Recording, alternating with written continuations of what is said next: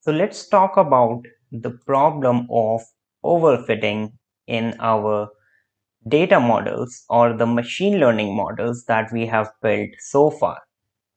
In this tutorial, we are going to consider the linear regression and we are going to see what is the problem of overfitting and how we can resolve this problem. So in linear regression, we have used the housing prices example where we have plotted a graph that contains the housing prices dataset. So now I'm going to show you some graphs based on which we can understand what is overfitting. So let's consider this first graph here. This first graph is price versus size graph. You can see that the red points represent the sample data or the training set of housing prices. Now let's say we come up with a linear regression model and we come up with a line something like this after calculating the cost function and gradient descent. Now you can see that this line is passing through only two points and most of the points does not lie on the line. Now let's consider the second graph in which we have the price versus size, the same data set, but instead of a linear regression, we have a curve. So the hypothesis function of this curve will not be linear. And you can see that this curve is actually trying to fit most of the data points. Now consider this graph.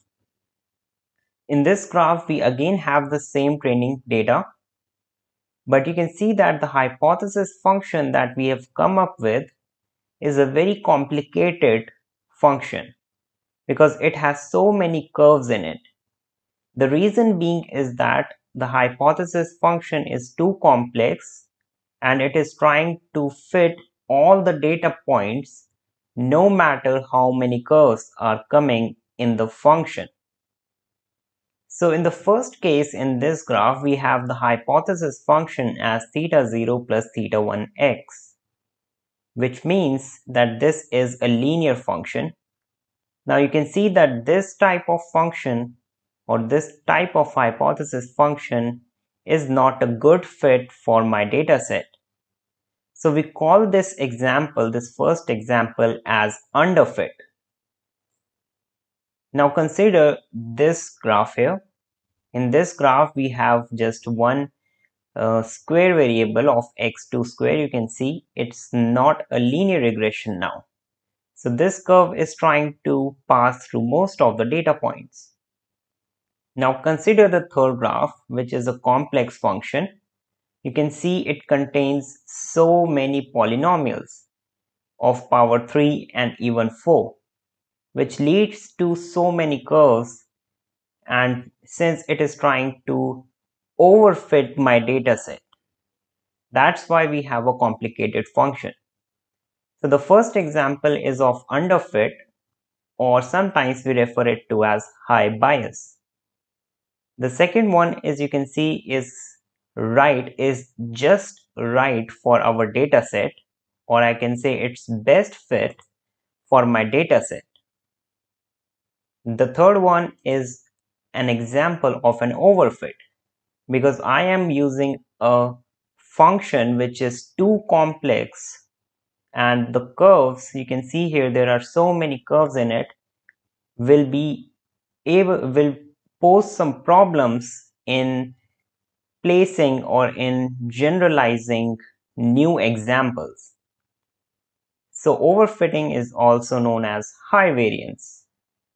Now let's try to define underfitting and overfitting. So underfitting or high bias is when the form of our hypothesis function h maps poorly to the trend of the data, which means that it is not passing through most of the data points and it is usually caused by the function that is too simple or uses too few features. Now you can see here it is using only a single feature which is x In this example, we are using two features x1 and x2 and in the last one we have x1, x2, x3 and x4. So we have so many features. So we need to just reduce some of the features and we can come up with this equation. So if we have an overfit example, if we will remove these terms somehow we will not consider the x4 and x3 feature, we will get the equation of the best fit. So overfitting is basically caused by a hypothesis function that fits the available data but it does not generalize well to predict new data. And you know that it is caused by a complicated function that creates a lot of unnecessary curves and angles, which is unrelated to the data. So now how can we solve this problem of overfitting? How can we address overfitting?